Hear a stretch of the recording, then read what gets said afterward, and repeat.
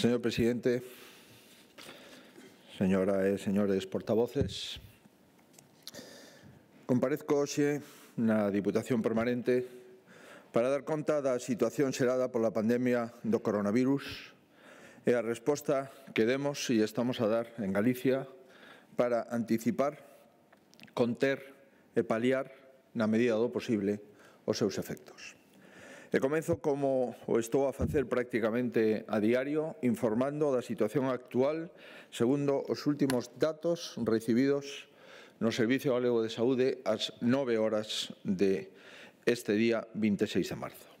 O número de persoas diagnosticadas co virus ascende en Galicia a 1.888, o que supón un incremento con respecto ao día de onte do 12,51%, 221 persoas diagnosticadas máis. O número de pacientes que se atopan nas UCIs ascende a 91, o que supón un 15,19% con respecto aos 12 pacientes que estaban no día de onte a mesma hora. O número de pacientes hospitalizados ascende a 520, o que supón un 5,05%, 25, 25 pacientes máis, sobre o día anterior e a domicilio O número de persoas confinadas no domicilio e diagnosticadas ascende a 1.377, o que supón 184 persoas máis, un 15,42%. O número de altas ascende a 54 e o número de falecidos chega a 37. En términos de porcentaxe, o número de pacientes que están nas UCIs neste momento é o 4,6%, o número de pacientes que se atopan en planta de hospitalización o 26,2% e o número de pacientes que se atopan en domicilio o 69,3%. Co obxeto de comparar estes datos, como ven sendo habitual sobre 100.000 habitantes eh, acumulados os últimos 14 días. En Galicia temos unha porcentaxe de eh, impacto por 100.000 habitantes do 69,66 e a media de España ascende a 113,03. Vaya por diante, antes de nada, o noso pesar para as 37 familias destes falecidos que a dor inevitable dun pasamento suban por riba a dor de ter que pasar este trance nunha situación que complica mesmo despedirse dos seus seres queridos.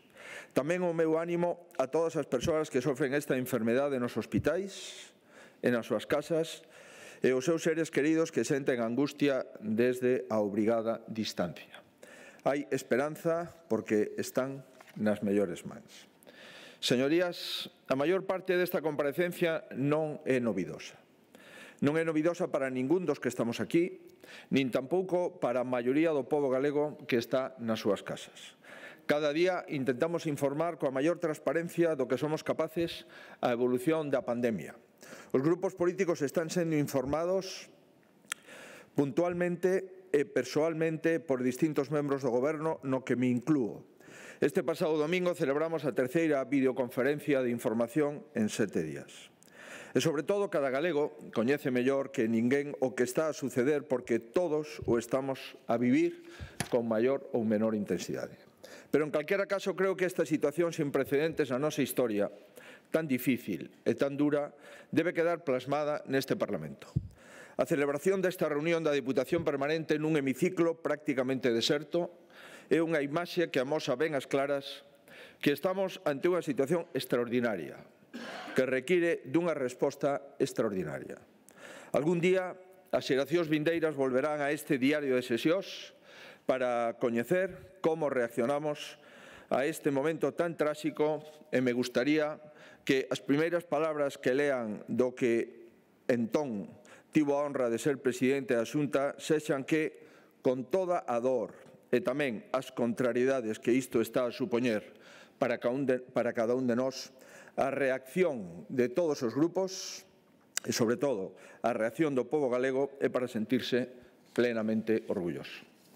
É un orgullo contar con persoal sanitario que está exercendo con profesionalidade e tamén con corazón, que está atendendo a todas e cada unha das persoas e que nin ante os cadros médicos máis complexos dan unha vida por perdida.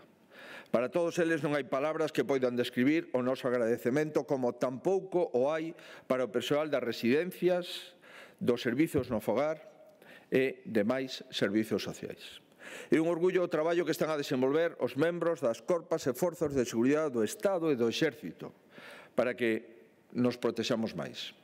É un orgullo a responsabilidade co que cada un dos traballadores dos servicios esenciais os traballadores das farmacias, os reparadores, os transportistas, os agricultores e gandeiros, os carniceiros, os pescadeiros e os mariñeiros, os panadeiros, os empregados de supermercado e de tendas de alimentación, os traballadores de almacén e logística, os profesionais dos medios de comunicación, a xente da construcción, en definitiva, todos aqueles empregados públicos que están en servicios esenciais e de outras empresas, están sostendo o país e tamén os fogares, posibilitando que cada un deles poida entrar alimentos, medicamentos, que haxa auga, que haxa luz e recollida de lixo. É un orgullo a implicación de cada galego que está na súa casa porque sabe que o mellor que poden facer para cuidar dos demais é cuidarse a sí mesmos. Gustaríame determe especialmente nos maiores e nos nenos. Nos nenos máis alleos a todo isto, pero os que non saíron nin sairán prácticamente da casa durante as semanas transcurridas e as que quedan. Son alegría, pero eles tamén o sofren a súa maneira. Quero dar as grazas aos profesores que seguen botando unha man dentro dos seus domicilios. Moitos destes rapaces non recordarán no futuro todo isto ou terán un recordo difuso, pero imos pelexear con todas as nosas forzas para que a maioría de rapaces poidan contárllelo aos seus avós, as súas avoas. E por iso quero dirixirme directamente aos maiores, os que todos votamos de menos e que nos votan tamén de menos. Non estades nin estaredes sós. Tedes aos vosos moi preto, tedes a Xunta de Galicia, tedes a todos os concellos, tedes o Goberno de España, tedes a todos os partidos que estamos aquí e tedes a todo un país con vos. Pronto estaremos outra vez o vosso carón, pero quero que estes días de distancia entendades que o mellor xeito que temos de achegarvos o noso cariño Dicirvos que vos queremos e tamén darvos a maior dos abrazos que máis pronto que tarde daremosvos en persoa. Volverán os días vos. Señorías, toda a sociedade galega está respondendo e espero que hoxe todos os representantes que estamos aquí estemos a súa altura. Cun debate que aporte propostas, melloras e tamén sume a unidade que hai en todo o país, que tamén poidan sentirse orgullosos de todos nós. Neste sentido, gustaríame recoñecer o traballo conxunto que todos os partidos fixemos para apartar do calendario a cita electoral que casual e inoportunamente nos convocaba o 5 de abril en medio da única prioridade que debemos de ter todos nós. Sorteamos unha legislación difusa e acadamos unha solución para cada situación que nunca se dera antes. Agora, se hai precedentes e son cun grande traballo da asesoría xurídica da Xunta de Galicia, tamén coa leal coordinación co Goberno Vasco e especialmente co Lendakari, e, por suposto, cun valioso consenso dos principais partidos galegos que concorríamos a estas eleccións. Oxalá este entendemento continúe agora e, cando menos, todos estes días e prevaleza por riba de calquera interese persoal, partidista ou electoral que comparado co que nos convoca sería máis cativo incomprensible e ademais inaceptable. Aquí xa non pode haber candidaturas nin candidatos. Aquí xa non pode haber cores nin siglas. Aquí todos somos unha, Galicia. Comenzo polo principio. Corría o mes de xaneiro. Corría o mes de xaneiro cando os medios comenzaban a facerse eco dun descoñecido virus que afectaron a rexión chinesa chamada Wuhan.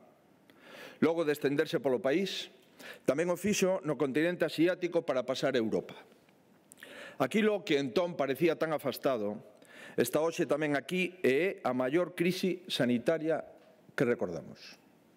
Parece que existe consenso agora en que se minusvalorou o risco e as posibles consecuencias do virus, Mesmo cando xa estaban a ver con todo o seu dramatismo en China, boa parte de Asia e Italia, e había xa advertencias de organismos sanitarios internacionais. Non é momento agora de reproches, e dende logo non os escoitarán de min. Díxono despois da primeira videoconferencia de presidentes autonómicos co presidente do Goberno Central e quero reiteralo hoxe aquí. Non son estes os momentos de ver o que se podía ter feito senón de ver o que todos podemos facer xuntos. O que sí quero destacar é que se algo caracterizou a actuación de Galicia dende o primeiro momento foi o intento de adiantarse e tomar medidas antes de que fose demasiado tarde. Anticiparnos sempre dentro das nosas competencias e no contexto da nación na que estamos. Simplemente darlles un dato.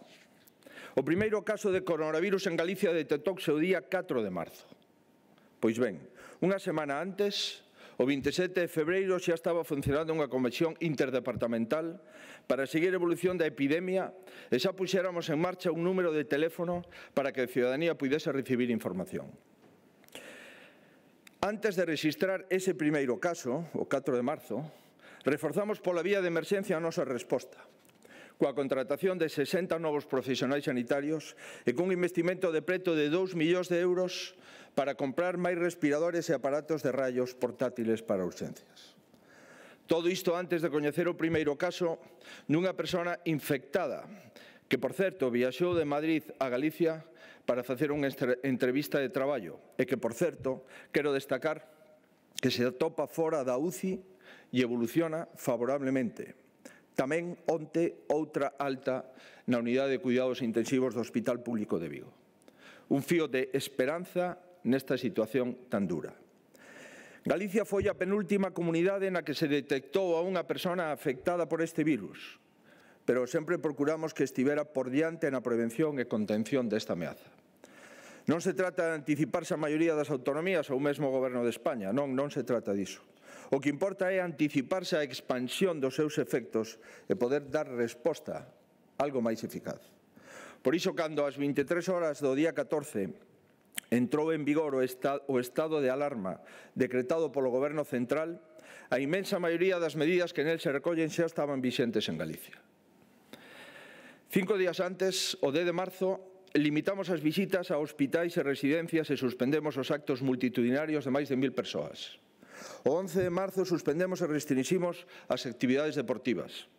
O 12 de marzo suspendemos toda a actividade académica, pechamos bibliotecas e museos e apostamos polo teletraballo. E xa o día 13, con anterioridade ao estado de alarma, declaramos a emerxencia sanitaria e activouse o Plan Territorial de Emerxencias de Galicia. Tomamos decisións e desenvolvemos medidas en distintos ámbitos, sempre tentando non ir un paso detrás da evolución da pandemia. Non esperamos a vernos na situación de outros lugares. Fomos en paralelo con comunidades autónomas, especialmente Euskadi e Madrid, que tamén intentaron tomar decisións. É certo que nos seus ámbitos territoriais ante situacións da pandemia máis graves. Non farei unha descripción detallada de cada unha das medidas porque Todos, creo, nesta Cámara as coñecemos.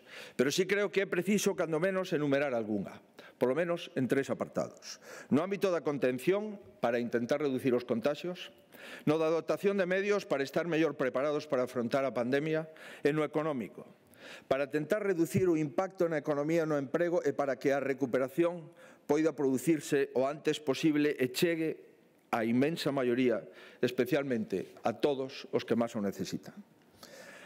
Así, no primeiro apartado no ámbito da contención, como xa teño indicado, o obxectivo era anticiparse e reducir as posibilidades do contagio. Xa con anterioridade ao que o Estado decretase o estado de alarma, procedemos ao peche de cafeterías, de restaurantes, de discotecas, de boa parte dos comercios, salvo aqueles imprescindibles. No ámbito sanitario limitamos a unha persoa como acompañante do paciente nos centros e posteriormente limitamos todas as persoas, ningún acompañante nos centros. Suspendernos as visitas aos centros sanitarios de visitadores médicos e suspendeuse a actividade dos voluntarios nos centros sanitarios. Sustituíronse as xuntanzas presenciais con persoas alleas ao centro por videoconferencias e promoveuse a consulta telefónica e a consulta por internet así como a visita domiciliaria tanto en atención primaria como especializada. Tamén no ámbito da política social limitáronse e posteriormente se restringiron as visitas a residencias de maiores ou a residencias con discapacitados internos. Suspenderonse os novos ingresos nas residencias agás nos casos derivados polas autoridades sanitarias. Suspendeuse toda a actividade nos centros sociocomunitarios, nas escolas infantís e nos centros de día pero o tempo blindaronse os servicios esenciais para a atención ás persoas en fogar e continúa o servicio de axuda no fogar e no servicio de atención a domicilio. Efectivamente, tamén aquel 13 de marzo na educación suspendimos todo tipo de actividade electiva, neste caso xa o propio día 12, con un día de anticipación, por decisión do Consello da Xunta. Pero o tempo reforzamos ferramentas online para a atención ao alumnado. Suprimimos, por suposto, todos os servizos educativos complementarios, tantos como comedor, transporte ou servicio de madrugadores. No que respecta aos empregados públicos da Administración Autonómica, todos os que teñan funcións que poidan desenvolverse a distancia están tel teletraballando dende aquel día 13 dende o seu domicilio. E só seguen indo os seus postos de traballo os que levan funcións esenciais de acordo co decreto de alarma e posteriormente co decreto real decreto do Estado, perdón, de, de acordo co decreto de emerxencia sanitaria e posteriormente co decreto real decreto do Goberno Central de alarma. Dende o día 13 de marzo no eido cultural pechamos o público os arquivos e museos, suspendemos todo tipo de eventos no exterior e no interior, pechanos en todos os dispositivos culturais que siguen ofrecendo contidos e recursos online. Tamén reducimos a oferta de servizos de transporte público, e limitamos a oferta de prazas nos vehículos a un terzo da súa capacidade.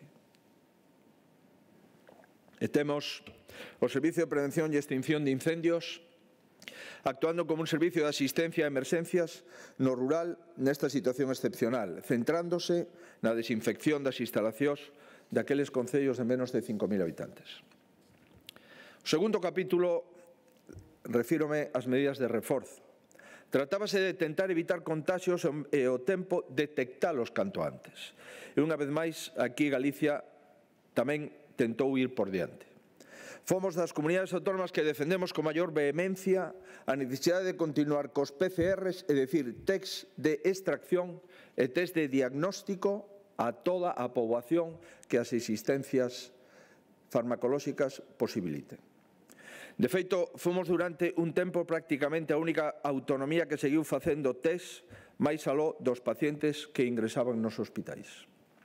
E tamén fomos pioneiros en marcha de poñer en marcha un sistema de probas rápidas dende os vehículos, iniciando en Vigo, con cita previa, que estendemos de inmediato a todas as áreas sanitarias e que nos están permitindo detectar máis positivos illalos e evitaron a maior propagación do virus, só cun límite, o número de test de extracción e test diagnósticos que teñamos nos hospitais.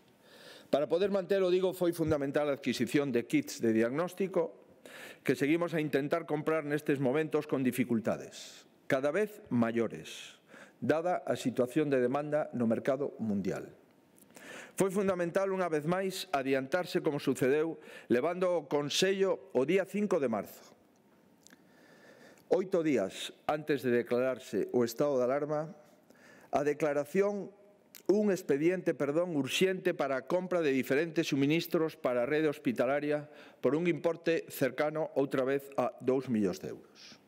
Concretamente, aquel 5 de marzo adoptamos a decisión de comprar cinco equipos portátiles de rayos X adicionais e 58 ventiladores. Tres de ventilación invasiva sete de transporte e 48 volumétricos adicionais. Os que se sumaron a pasada semana, o Consello do 20 de marzo, tras unha nova contratación por emerxencia de algo máis de 20, perdón, de un millón de euros, se sumaron, como digo, 47 ventiladores volumétricos máis, dos cuales 25 xa están instalados e outros 22 chegarán a finales desta semana.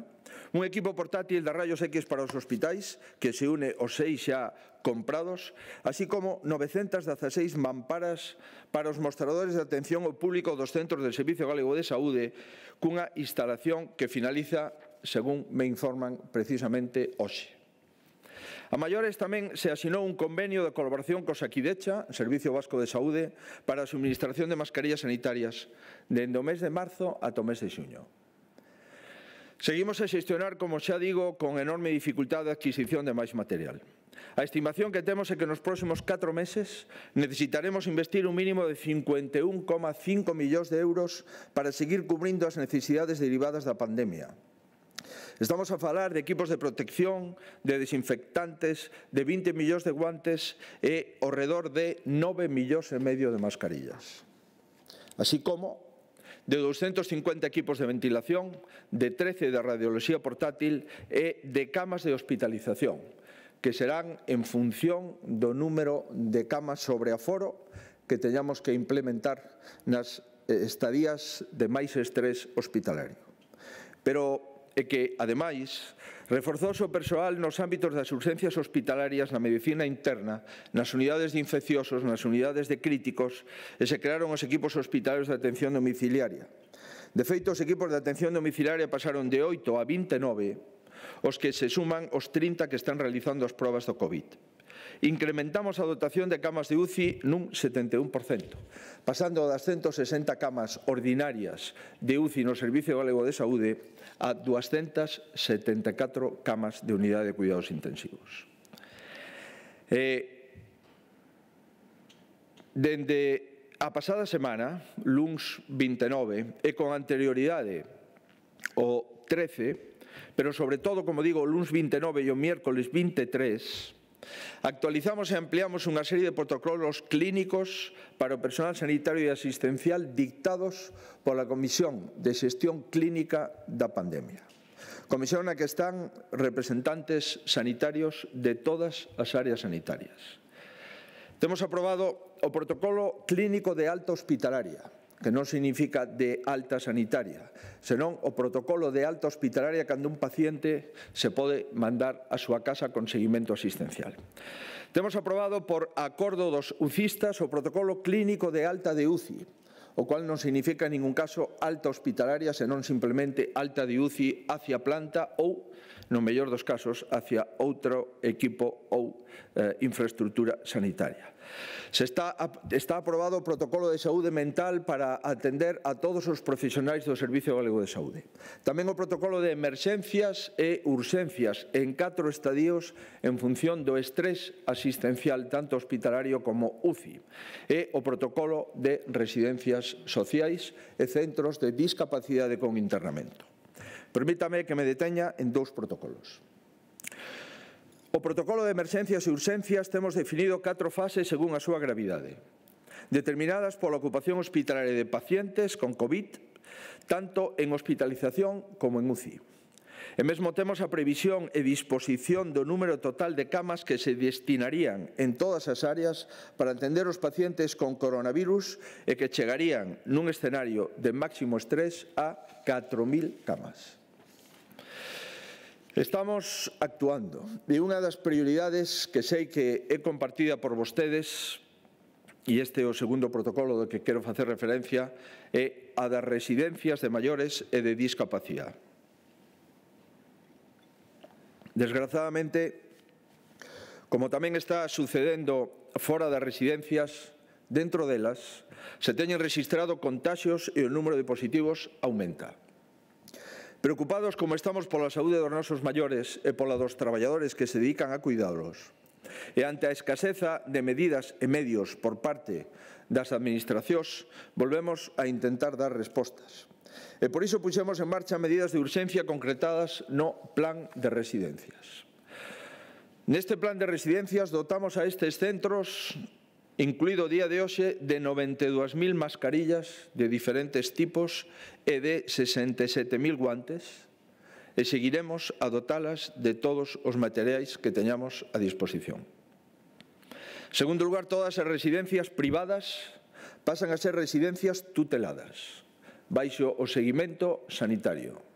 E, en tercer lugar, habilitamos en Galicia dúas residencias integradas, directamente no ámbito sanitario, para a atención das persoas maiores usuarias de residencias que dean positivos por coronavirus e presenten unha situación de risco nas súas residencias polas características da arquitectura física do propio edificio ou pola dotación de persoal sanitario nas referencias, perdón, nas súas residencias de orixe en función das necesidades asistenciais que se detecten nos próximos días ou semanas, poderás habilitar novas residencias integradas si o protocolo clínico o aconsella. E, por suposto, como ata agora, aqueles usuarios de residencia, como calquer outro cidadán, que presenten un cuadro clínico que require hospitalización, deberán ser hospitalizados. En calquera caso, eu quero reiterar unha mensaxe de confianza aos usuarios das residencias e, sobre todo, ás súas familias e tamén unha mensaxe de confianza nos traballadores destes centros e dos servicios sociais despois de situacións concretas que se deron en algúns lugares de España. Apoiamos que se actúe, que se actúe agora sempre e antes contra aqueles xestores de residencias que non as teñan en condicións axeitadas E desde a Xunta estivemos, estamos e estaremos vixiantes para que non se produzan situacións anómalas e dabelas serán denunciadas. Pero creo que é profundamente injusto para os profesionais de residencias e servicios sociais caer en generalizacións. E tampouco responsable transmitir unha mensaxe de intranquilidade sistemática aos usuarios e aos seus seres queridos. Nestas residencias alóxanse persoas moi vulnerables ante o virus E lamentablemente esas cifras crecerán, como lamentablemente tamén o farán destos, fora destos centros e en todas as partes. Pero neste momento en Galicia estamos a falar de 22.400 usuarios de residencias e 291 centros que están a ser cuidados e os casos registrados son preocupantes, por suposto, pero De momento, os casos registrados de contagios en residencias non chegan ao 1% do total dos usuarios. Os profesionais de residencias e dos servicios sociais están facendo un bo traballo, esforzándose ao máximo e asegurando o cuidado de maiores e dependentes. Falamos moito e merecidamente do persoal sanitario, pero deberíamos ter tamén presente o que están a facer estes profesionais. Os maiores e as persoas con discapacidade destos centros tamén están nas mellores mans posibles. Finalmente, quixera referirme ás medidas adoptadas no ámbito económico. Esta pandemia tamén ten e terá consecuencias moi potentes neste ámbito. Teremos que reconstruir moito do que, con esforzo e sacrificio, estivemos levantando durante a recesión económica. Precisaremos da mesma actitude e capacidade de superación que nos demostramos estes anos. E a bofé que o volveremos a facer. No pasado Consello do 20 de marzo habilitamos medidas para apoiar o noso tecido empresarial especialmente os autónomos e as pequenas e medianas empresas e facer fronte o mellor posible a situación. Catro medidas. En primer lugar, O aprazamento das cotas de amortización e dos xuros da liquidación do primeiro semestre do ano de todos os préstamos formalizados con institucións da Xunta de Galicia. Estou a referir a un volumen de préstamos de algo máis de 265 millóns de euros. Pois ben, A amortización e os xuros de liquidación quedarán aplazados, de forma que estas cantidades se poidan pagar no trimestre seguinte o vencemento final dos préstamos. E, en todo caso, non será necesario facelo antes do 30 de xuño. En segundo lugar, inxectando de inmediato liquidez para autónomos e PEMES cunha liña de financiamento para mobilizar 250 millóns de euros. En terceiro lugar, a estas liñas de financiamento temos que engadir unha terceira alternativa. A Xunta habilita 10 millóns de euros para o financiamento das necesidades de reestruturación de produción das empresas galegas que decidan acometer a fabricación de elementos útiles e necesarios para poder combater o coronavirus. En concreto, esta liña financiará tanto investimentos como circulante, e as empresas deberán dar resposta coa produción de equipos como, por exemplo, textiles sanitarios, equipos de protección individual e materiais para respiradores. Neste sentido, quero destacar e agradecer a resposta das empresas que están a ofrecer a súa colaboración, máis de 30 xa, na maioría do ámbito textil. E, en cuarto lugar, fixemos e nos anticipamos tamén no eido da innovación, onde activamos unha chamada para identificar as capacidades do Sistema Galego de Innovación no eido do coronavirus. Unha convocatoria que, por certo, se pecha malla Benres por un importe de 10 millóns de euros e coa que buscamos solucións innovadoras que se poden implementar de xeito inmediato. Tales como dispositivos de intervención ou tratamento, solucións para fabricar ventiladores ou equipos de protección individual. Sen dúbida, creo que acordarán, concordarán comigo en que levamos moito traballo feito ante unha situación que é nova para todos, pero aínda queda moitísimo traballo por facer, porque lamentablemente todo indica que desde o punto de vista asistencial o peor aínda está por chegar. E por iso quixera aproveitar a comparecencia para informarlles de primeira man de algunha das novas iniciativas que engadiremos xa desde mañá coa súa aprobación no Consello da Xunta.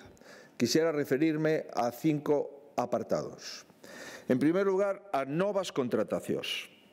Novas contratacións por importe de 7 millóns de euros para aboar parte das contratacións feitas e para autorizar máis materiais de protección ante o coronavirus destinados a profesionais e doentes máis máscaras respiratorias, máis batas de alta protección, máis botellas de solución desinfectante e todos os test de extracción e de diagnóstico que se podan conseguir.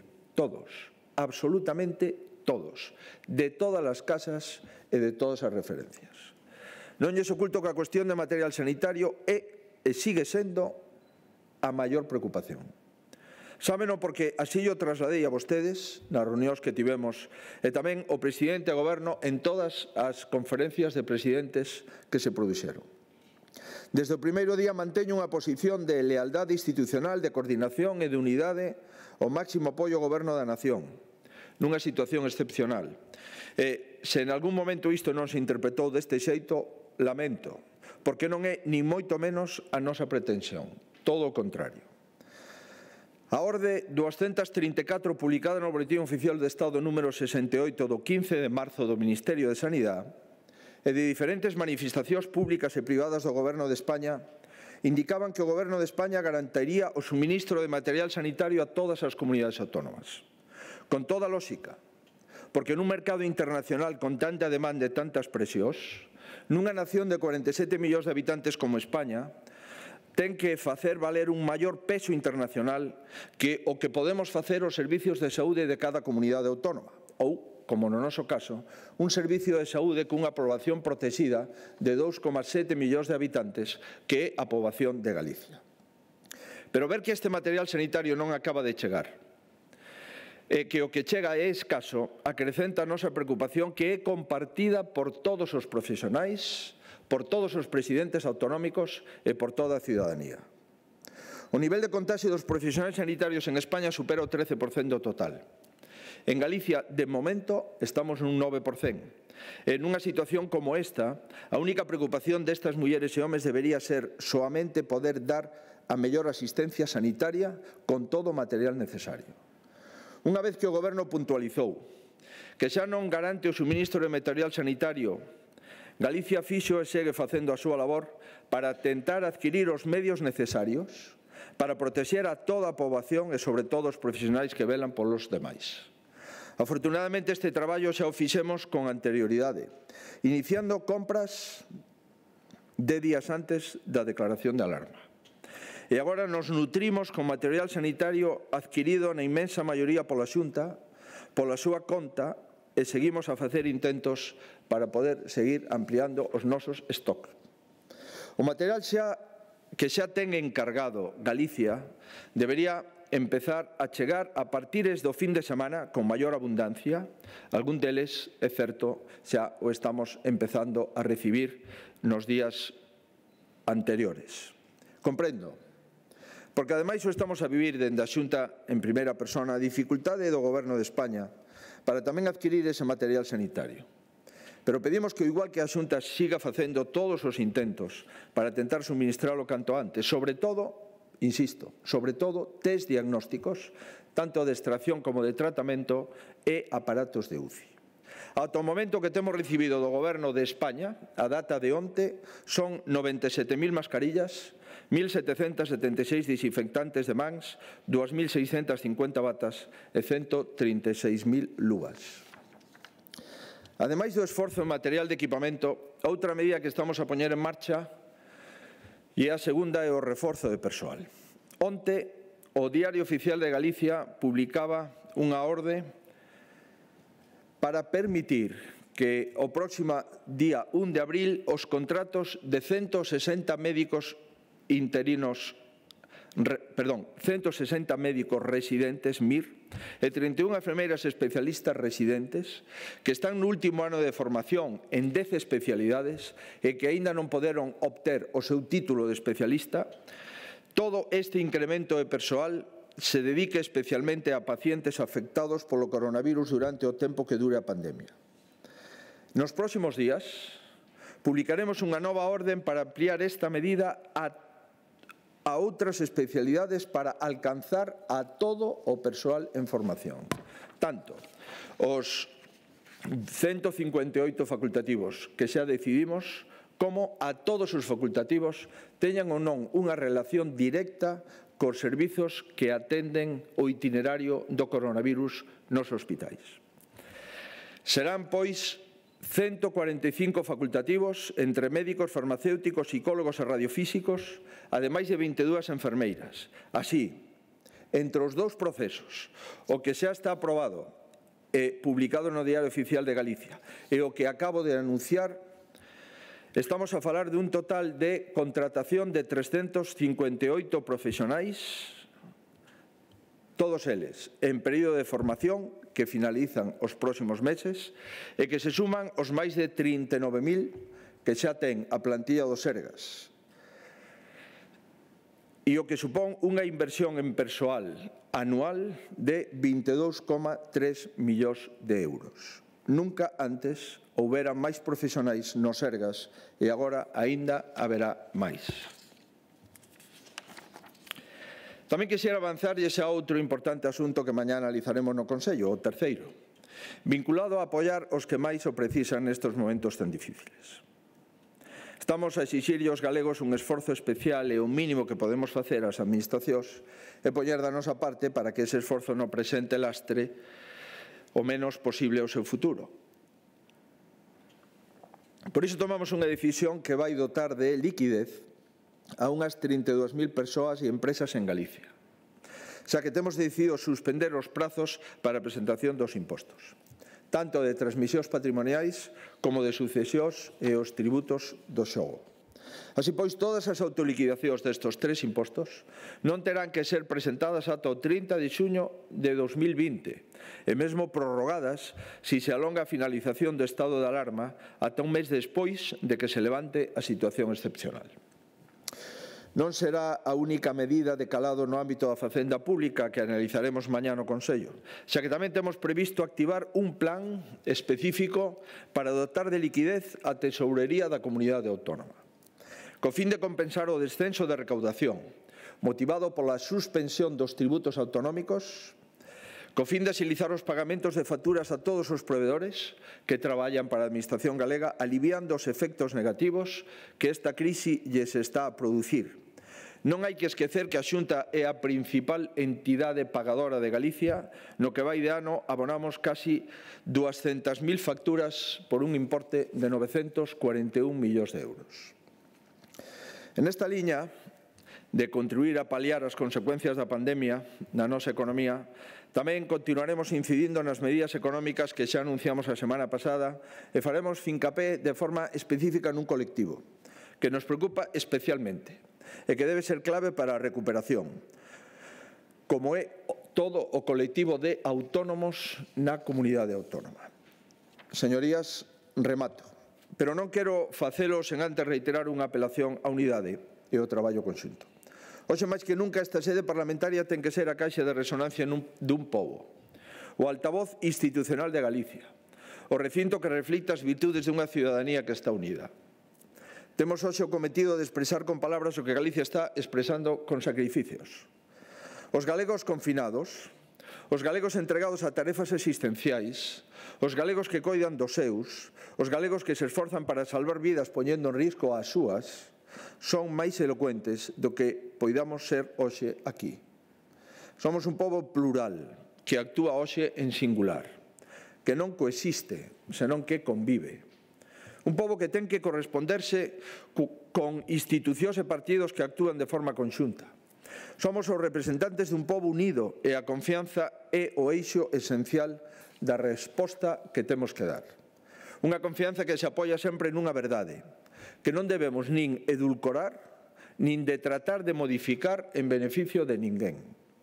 A verdade non é outra que o peor Dende o punto de vista de presión asistencial, tanto hospitalaria como en UCI, digo que o peor aínda está por vir. Un contagio menos hoxe son tres contagios menos mañá. Oxalá a anticipación de Galicia e a reacción en toda España de os seus froitos. Iso é o que merecen todos os ciudadáns non o que está sucedendo, pero debemos estar preparados e deberemos multiplicar os esforzos e a unidade que xa todos redobramos. A verdade, a verdade son os positivos hospitalizados e falecidos que enumeramos cada día. Datos durísimos porque cada un deles leva consigo drama, pesar, angustia e dor. Pero a verdade é tamén que non podemos cuantificar outro dato que está aí e tamén é real, a dos contagios evitados, a das vidas salvadas, grazas á actitude de todos, e dos que cumpren coas súas responsabilidades nos seus traballos e dos que cumplen coas súas responsabilidades máis livianas nas súas casas. Todo parece indicar, señorías, que veñen semanas moi duras. Refírome a semanas moi duras no ámbito sanitario, tanto na presión ás urxencias como na presión nas plantas de hospitalización e na presión nas unidades de cuidados intensivos. Pero Galicia, como toda España, se recuperará. Así o fixo e así o fará. Non, non, non nos podemos dar a man, pero todos votamos unha man en reducir o risco. Non nos podemos abrazar, pero estamos máis unidos que nunca. Miraremos cara atrás e recordaremos estes días con tristura, pero estou convencido que tamén con orgullo. Miraremos cara atrás e recordaremos estes días, insisto, con orgullo. Volverán os días vos, merecémolo. Sigamos coidando, porque así estamos coidando os que máis queremos. Señorías, moitas grazas.